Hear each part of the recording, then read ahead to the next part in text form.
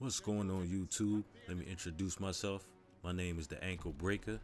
I'm the big bro, the little bro, DahGame360. Unfortunately, the game's not here. He's uh, out and about taking care of some personal matters, so I'm gonna be your guys' guest commentary today for this video. Uh, let me start off by saying, uh, due to circumstances beyond my control, I wasn't around the last few years, so uh, I never really got to play any of these new Call of Duties. Uh, actually, the last one I played was uh, Modern Warfare on the 360. So uh, Ghosts, uh, Infinite Warfare, uh, Advanced Warfare, Black Ops 3. The last couple months, this is like my first time playing any of these games. And uh, one thing I noticed that uh, Infinite Warfare, I don't know why, but that game got a bum rap. A lot of you guys are trashing the game, saying it's trash.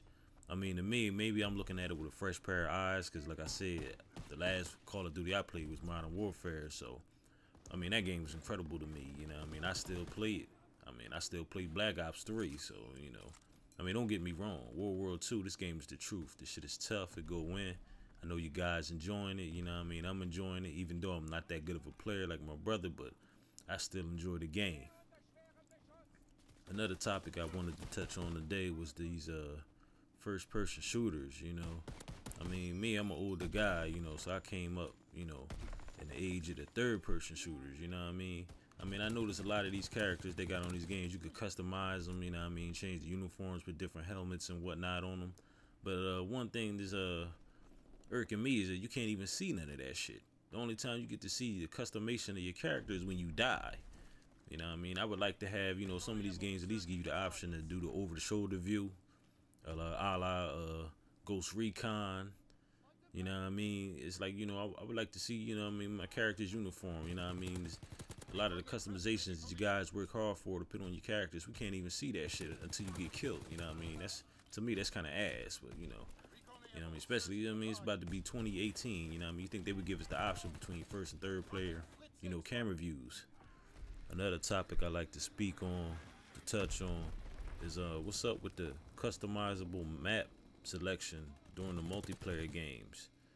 It's like we we at the mercy of whatever the computer feels like it need to randomly generate for us to play. I would like it you know at least let us hand pick a couple maps that we could cycle through you know what i mean? Because i noticed on like a lot of the older call of duties like iw like black ops 3 it's a lot of the maps i never even really got to play in multiplayer because if it's not a featured group of maps you can't even get games for those maps.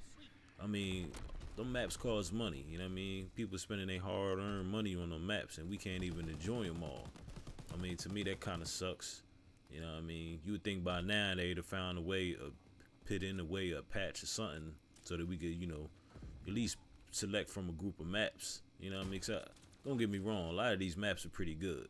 I, I haven't seen any trash maps on World War II yet, but it's one or two maps that I only seen one or two times. And I've been playing the game for the last couple weeks.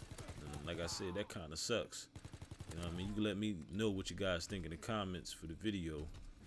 Also, I would like to speak on the teammates in the games in the multiplayer.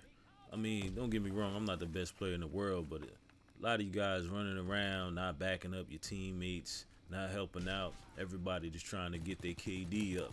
You know, sometimes you got to fall back, throw some smoke grenades, you know I mean, plant some mines, you know what I mean? You know, strategize, you know, to help your teammates. It ain't all about the kills. You know what I mean? Especially in, in like capture the flags, domination, hard point, you know, some of those strategic game types, game moves, you know what I mean? You guys need to work together a little more. I mean, it ain't everybody, but it's a lot of the players doing this. You know I mean? That gets kind of frustrating, kind of irritating you know what I mean? Especially with, you know, like some of the players such as myself that's really not that good. We still trying to learn, get a feel for the game. It's like you guys make it extremely hard. But in saying that, I still enjoy playing the game very much.